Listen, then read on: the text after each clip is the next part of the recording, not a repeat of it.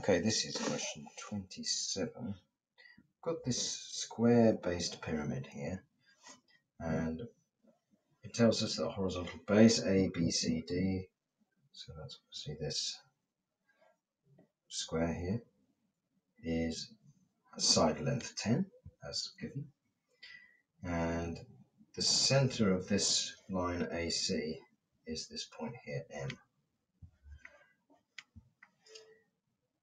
We're told that VMA is 90 degrees, that's this right angle here, and we're told that this angle is 68 degrees.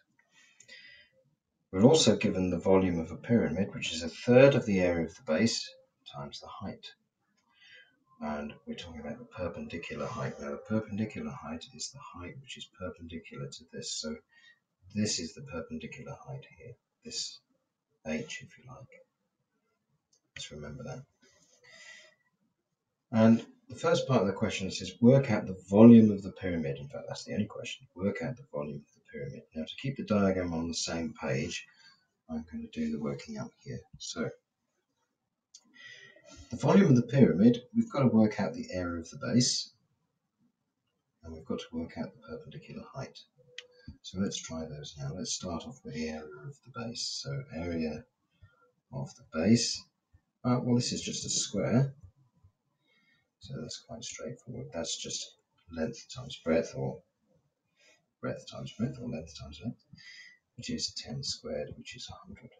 And that's, of course, centimeters squared. Let's now try and work out the perpendicular height. Perpendicular height.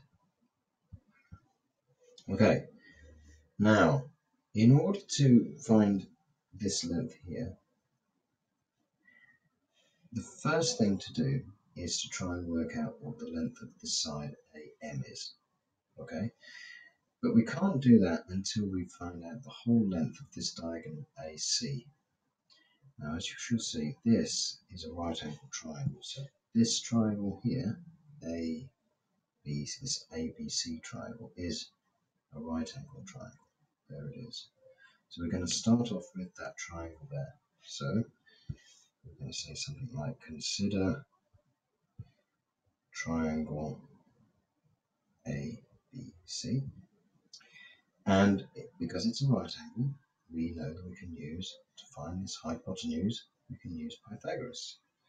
So AC squared, that's this length, squared, is the sum of the squares of the other two sides. So that's 10 squared plus 10 squared.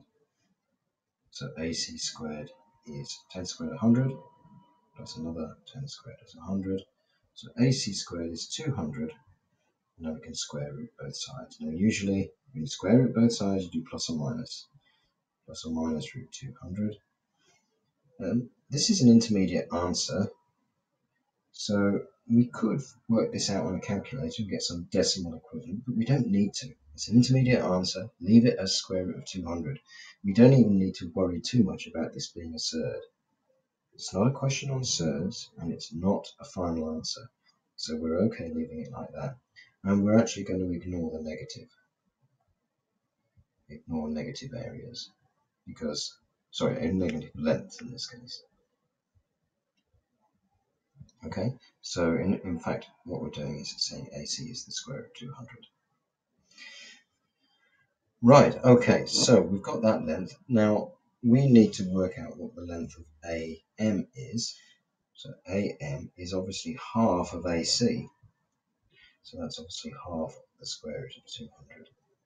Again, I'm not worrying too much about what this looks like at the moment. Now, now that I've got that length here, so that's a half the square root of 200, there to there, I can now use SOHCAHTOA on this triangle, VMA, yeah, on this triangle, because I've got a right angle. So SOHCAHTOA, so looking at uh, consider triangle A M V